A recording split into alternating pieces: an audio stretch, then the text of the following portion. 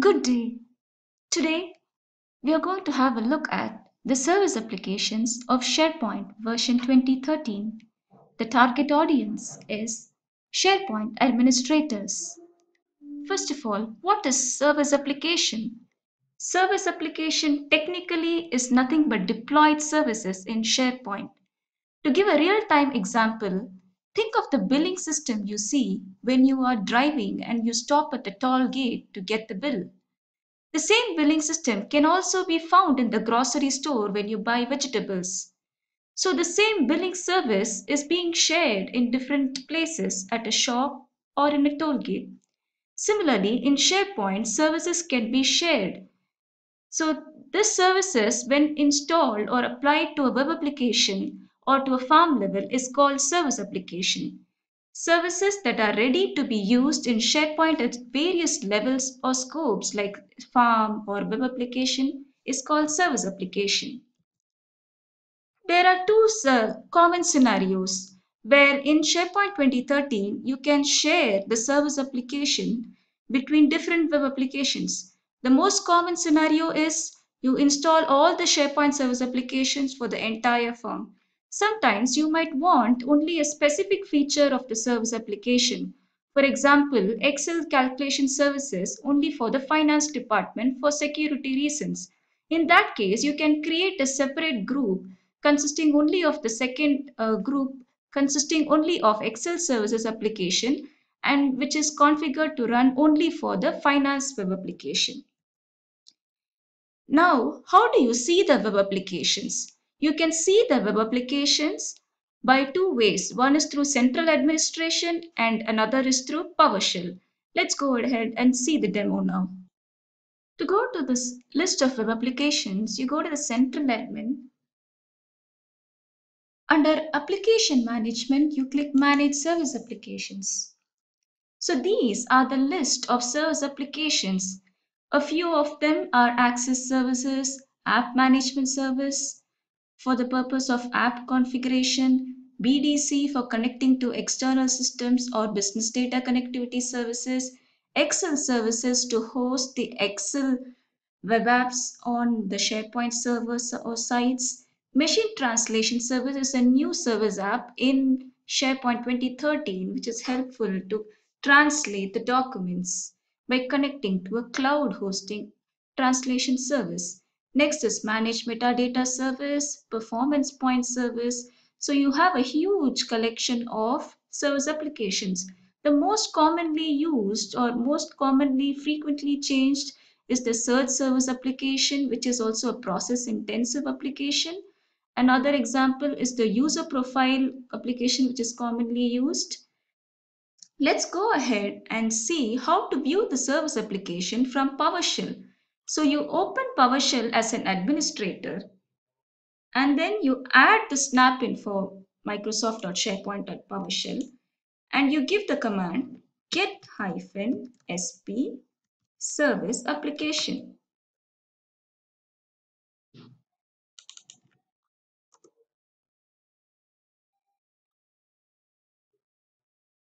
So this lists all the service application in the Sometimes you have to plan for security. You need to decide before creating a service application whether the service application needs a separate managed account or a separate application pool. It is not recommended to create many number of application pools but uh, or managed accounts. But for search certain applications like search, it is a good practice to have a separate managed account for crawling and to give access to the database this is the command used. You get the you get the connection to the web application and then you grant access to the identity for the corresponding user and create a managed account. So the way to register managed account is to go to central administration security general security configure manage accounts and register managed account. Go to security configure manage accounts under general security and register managed account. So this is where you create a new managed account. Managed account is nothing but a robo account where you can set the password to ne never expire or expire for a certain time limit.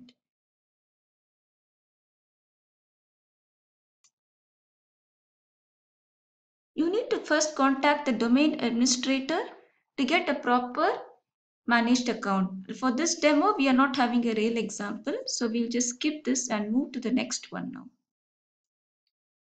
To create a new service application from the central administration, you go to manage service application and you simply provide the name. Sometimes you might have to provide the application pool name most of the times and in some cases you might have to provide the database server for example access service application and then the second way to create is through PowerShell using the command new hyphen sp service application for and it depends for example, if it is a Excel, you would use new hyphen SP Excel service application. For search, you would use new hyphen SP search service application.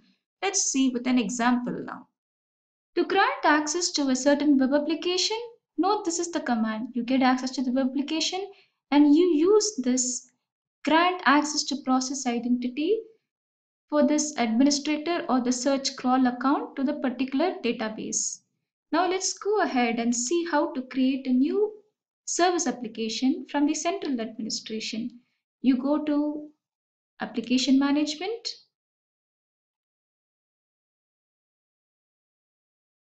Click manage service applications and click new.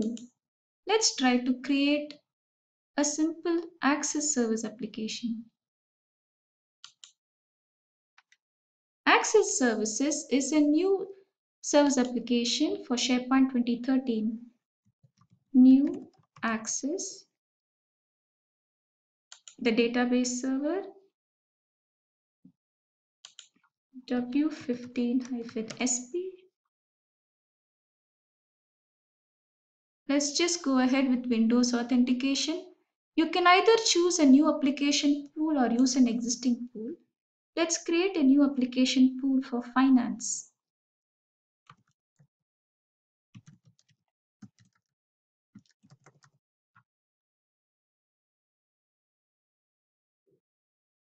So we are using the existing managed account. If you have a new managed account created, you can use that. Then click OK. So this is the new access service application. Suppose you want to delete it, you just click that and click delete from here.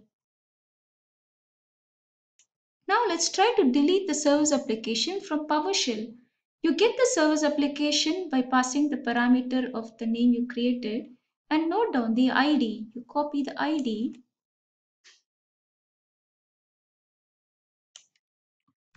and then use the command remove hyphen SP service application hyphen identity and paste the GUID. It will ask you, you can click yes. Now if you see that service application, new service application is deleted. Now to add administrators, there are scenarios where you would want to add administrators for the purpose of delegation for a particular service application.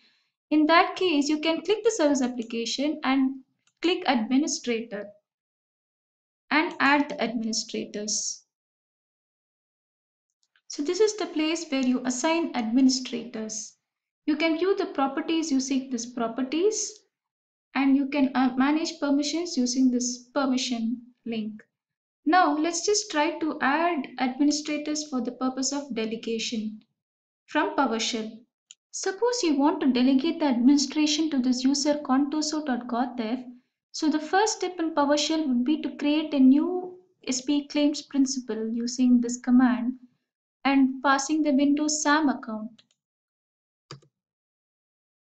The next step is to get the Excel service application. So for our example, we are going to try to demonstrate with the Excel service application.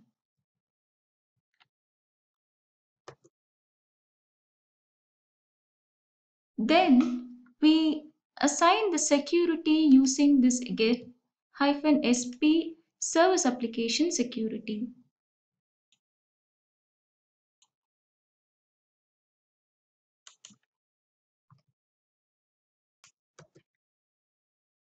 Now view the same proper access rule properties. The access is revoked. Let's also have a quick look at the services. All these services applications have a parent which is available in the services. For that, you would go to Application Management, Manage Services on Server. So this is a list of all the services available. Note that this is not equivalent to the Windows services you see. This is different. And for example, distributed cache is a new service available in SharePoint 2013. So all the service applications have their parent available here in the services. You may start or stop the service by clicking start or stop accordingly based on your requirement.